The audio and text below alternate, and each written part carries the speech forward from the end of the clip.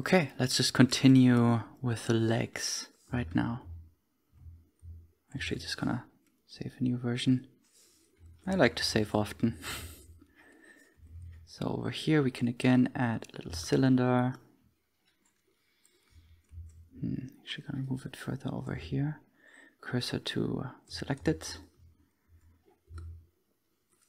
I'm gonna scale this guy up right over here. Again, gonna add a mirror modifier uh, over here. Again, choose the center object as a mirror object. So I can, I can just scale this down and shear this into position. I also added a custom shortcut in my key map to actually be able to roll the view. So this is actually kind of useful. Uh, it's not as accessible. You really need to like go into the preferences and build it yourself. But I can like make a little mental note of sharing that.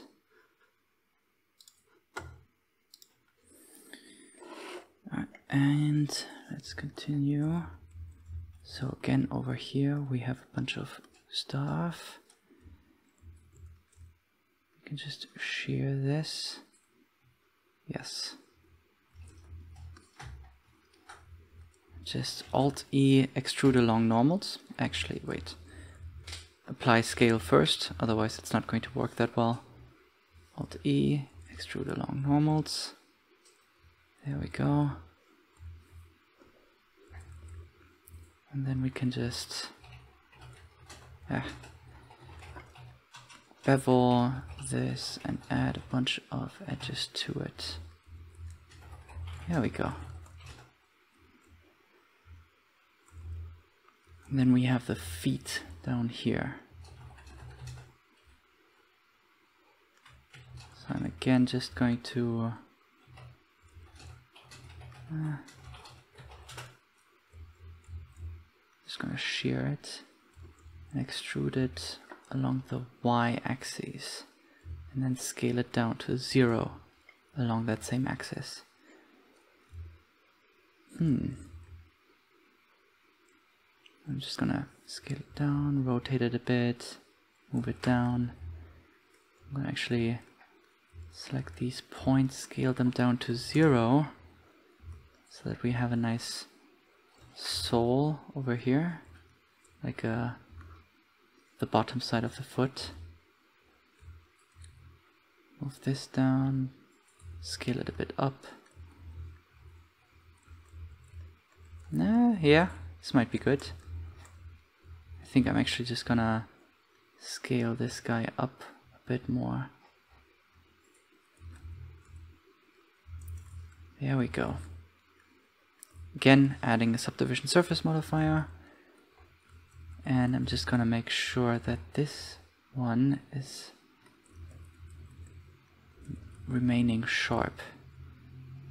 And I'm actually going to bevel this guy. Hmm.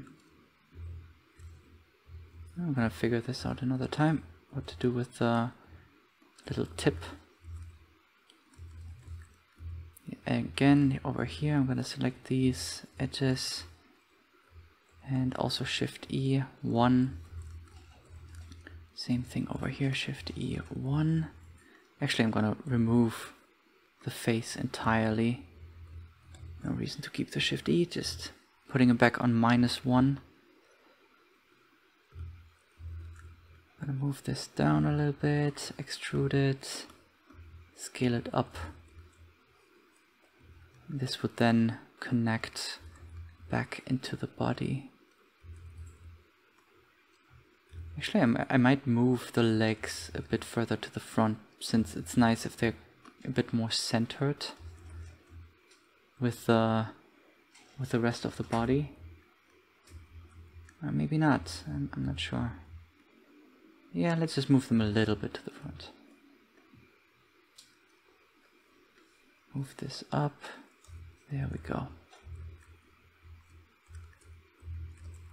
Nice. I'm gonna keep this a bit sharp though. There we go. I'm gonna shade this smooth. We can do the same thing over here again. Anything above 30 degrees will be sharp. Same thing here. Shade smooth on these guys. Auto smooth enabled.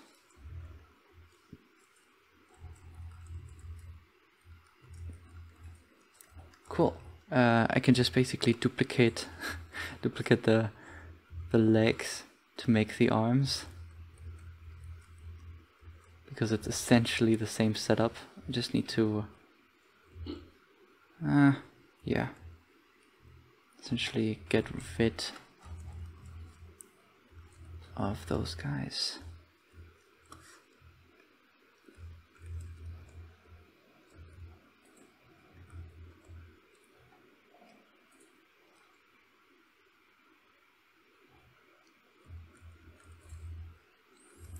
I'm actually not gonna bother right now to model him into a T-pose or an A-pose. I'm just going to uh, model him based onto uh, based on the concept art.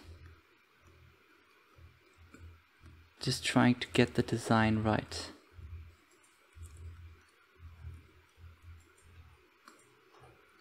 There we go.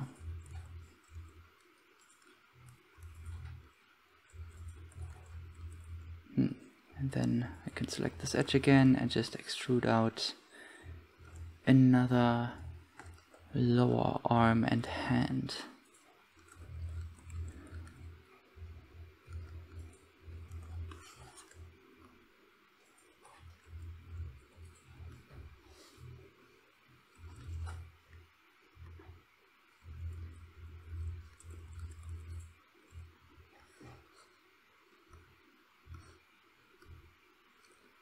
Hmm, okay. So I'm just gonna grid fill this in again. But in a way that it's actually aligned nicely. So let's bring back this panel over here and just rotate it slightly. Hmm. I guess there's no way of perfectly aligning it. Not with this amount of edges.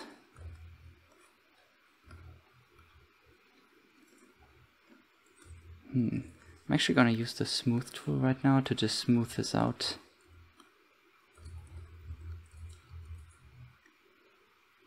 There we go.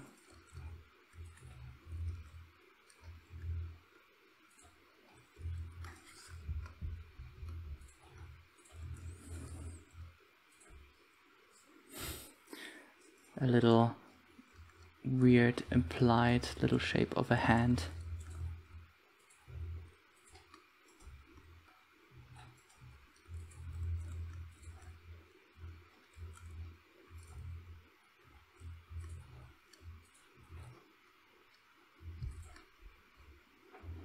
Hmm, yes.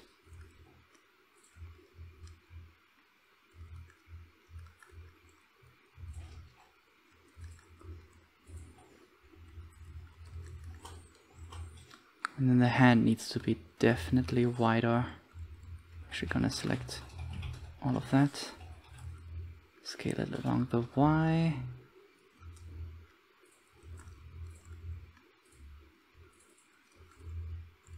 Same thing for the wrist over here. And then of course the same thing for the lower arm. Actually gonna change this to normal. That way the axis is going to be aligned with my selection. Which not always, which doesn't always work that well.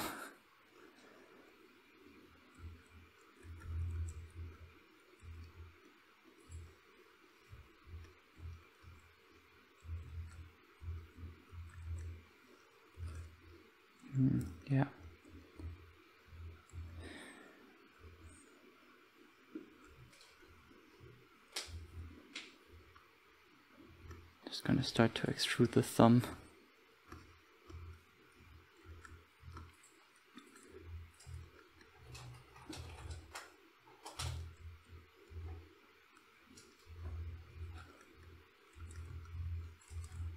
Actually gonna add another loop over here. This way I can select this and with the loop tools I can make it a circle.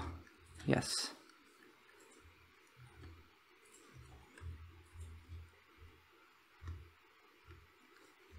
There we go. Nice round thumb.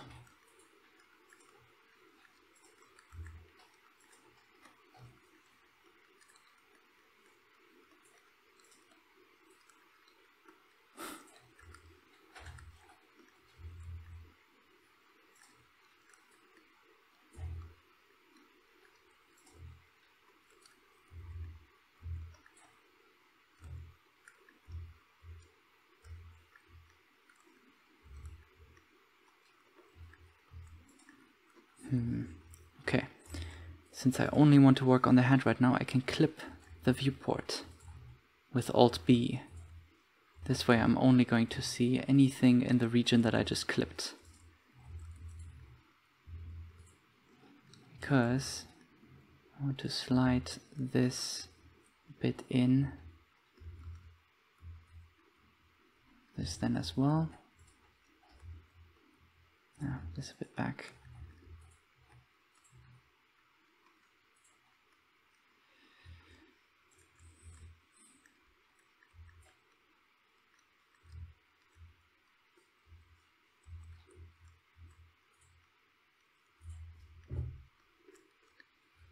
Nice. Add another loop over here.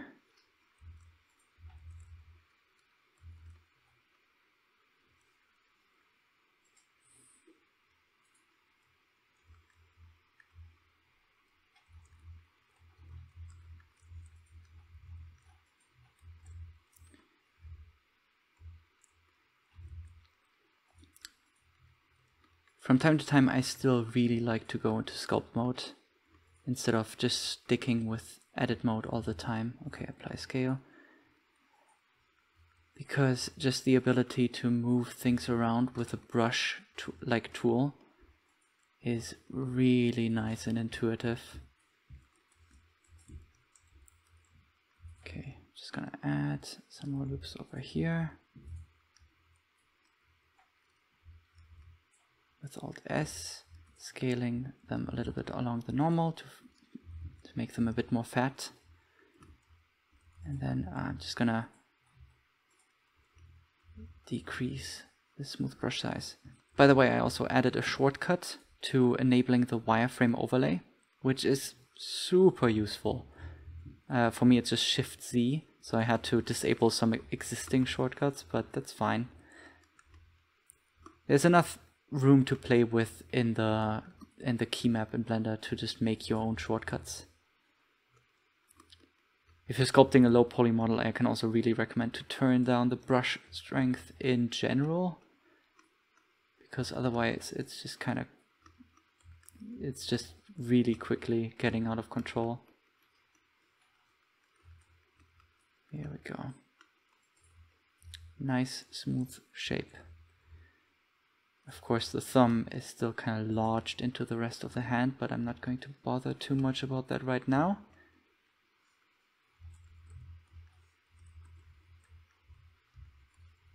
Okay, add another loop over here. Kind of close off the hand from the wrist with the subdivision surface modifier. Okay, beveling this guy. I should really disable the smoothing for edit mode. Let's hide that guy again. Yes.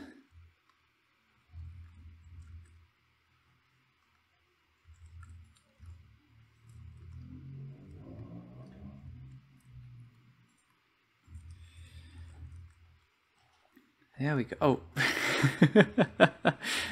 okay, something got a bit misaligned. Oh, it's because I'm using normal or the normal axis instead of global or local.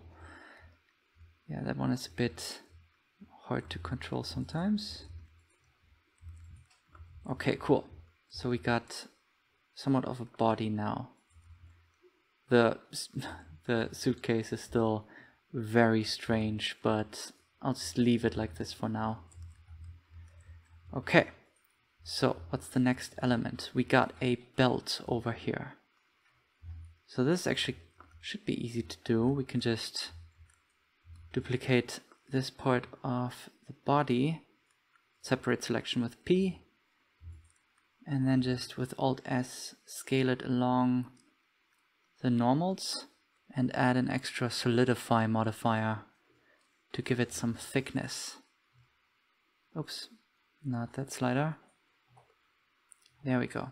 Just to see it better, I'm just gonna disable the subdivision surface modifier.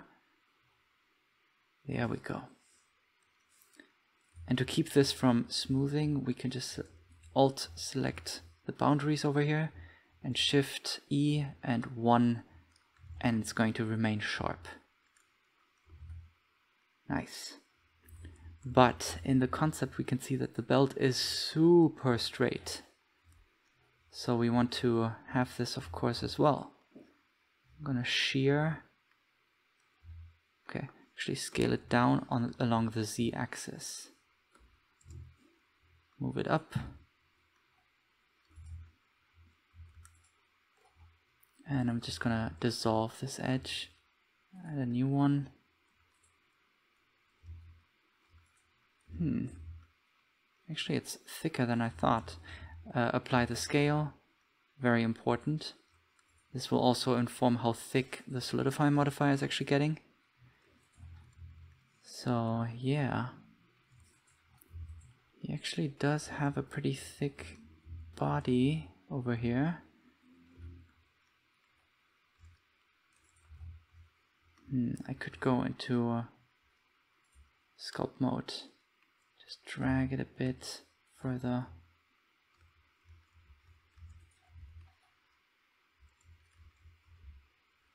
Hmm. Okay. If you want to see the modifiers in sculpt mode, I can recommend you to disable this option, use deform only.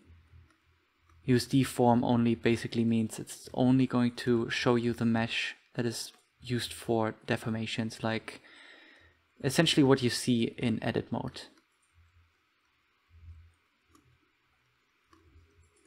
Okay, we can add a bit of thickness to this guy.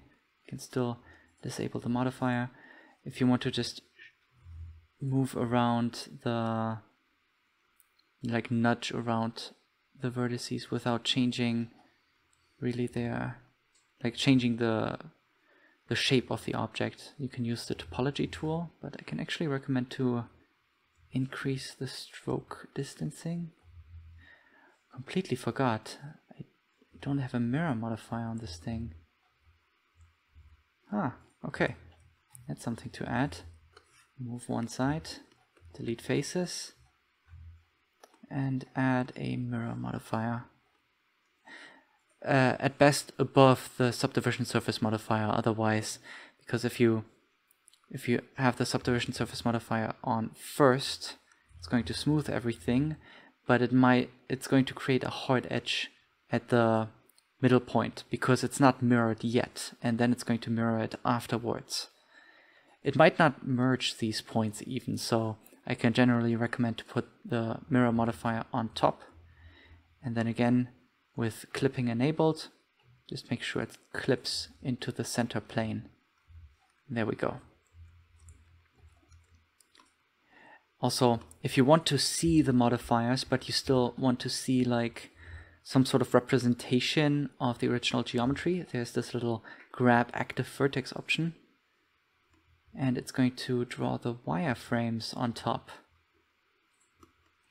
It's still like, it, it looks a bit buggy, it, doesn't look like um, like the what it's supposed to be eventually. I think this could still use some improvements, but it's a it's a nice little helpful indicator. Especially since the wireframes are usually smoothed with the subdivision surface modifier, so having the non-subdivided wireframes here is really useful. So yes, uh, we were working on the belt. I'm actually not going to use the solidify because, or actually, let's bring it back. Is there a way of... No, there's no way of constraining it to a certain axis. So let's just get rid of it and instead extrude it ourselves along normal. This is essentially the same result as before. You can also scale it further along normal with Alt S and then in edit mode again scale these loops down to zero and align them with the belt. That's nice.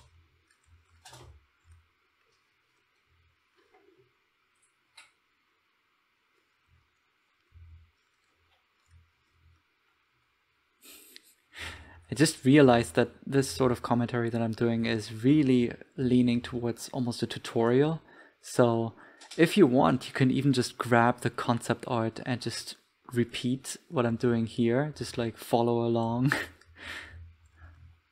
it's kind of interesting. Since everything is CC uh, Creative Commons, there should be no legal conflict of using the the concept art for your own stuff. So you're free to do this. It's all free.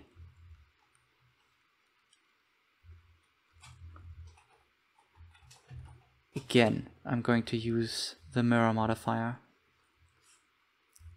Delete faces, mirror, and above the subdivision surface modifier, enable clipping. There we go. Now I can adjust this further without problems. Huh.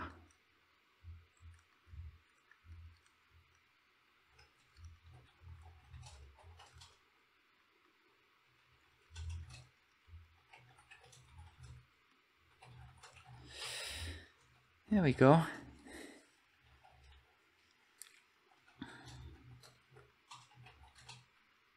Hmm.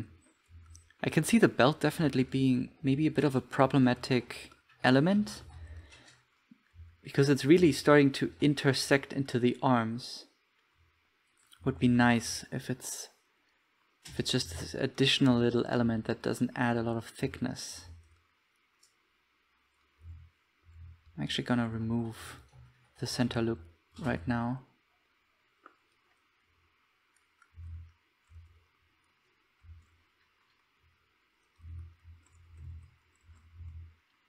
Anyway, uh, we can just keep this for now. Interesting. Ah, I think I forgot to do something with the reference empties, which is, yes, this is the, the, the depth options is not just for, for how different empties interact with each other, but also how it interacts with the objects that you're modeling on. So I can really recommend to put it in the back. This way the objects are always going to be rendered in front of these empties. So this is really a nice note. okay. I'm just gonna select these two guys and uh, set the cursor to selected. That's why we have them here in the center plane. And I'm actually just going to make a dummy head. I can bring in the reference again uh, over here. Yes. So if we look at this little part of the turntable, we can see there is still a head inside and it's nice to add it, even though uh, the goal is really to hide it, to never show this head, it's still good to have these objects as a sort of volume reference. Otherwise, you're just kind of modeling in the dark. And at some point, like if you would have a body under the clothing, and the clothing is like moving in some sort of dynamic way, and the the body would never be shown. You would still want to have the body there. Otherwise, the clothes could just at some point intersect into the body, and there's no volume consistency, and it's just a mess. Okay, again, I'm gonna remove one side and add a mirror modifier. If you want, you can even just select another object as the active one, Control L, and copy the modifiers over. With the copy attributes add-on, you can also do it with Control C. So I can just go over here, This has no modifier modifiers. This one has modifiers. This one has even more. So I could go over here, select this one, then the arms, Control C, select, copy selected modifiers, and then I can copy over the ones I want to have. So I could just just copy the mirror modifier instead of all of them. So just going to copy the mirror. Now we have clipping, still disabled, okay. Um, but yes, clipping and the mirror center object and all that stuff, then we just have it automatically. just gonna bevel this again, this too, and this I'm gonna bevel like that. Yeah, and this is just sort of the head shape, like a very generalized head shape that we want to have inside of this mask. gonna select these edges and move them in. And I can just select all of this, move it out, and just smooth this flat, uh, sh uh, shade this smooth. okay, so the mask is definitely gonna have a little element over here. So I can just duplicate it and extrude it in this direction. I'm going to disable the smooth modifier for edit mode again. I'm just going to separate this into its own object. Move it up. Mm. Yeah, I'm actually going, going to just get rid of the solidify modifier. Don't really like that one right now. So, this can be just a flat thing. I mean, it would be nice if it has a bit of the curvature of the mask. I can move it in. Definitely let it intersect a little bit.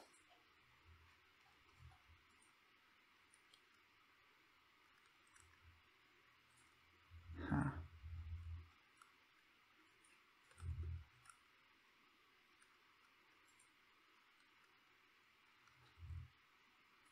Okay, cool. Now I could just extrude this along normals. Now we have this little thing over here.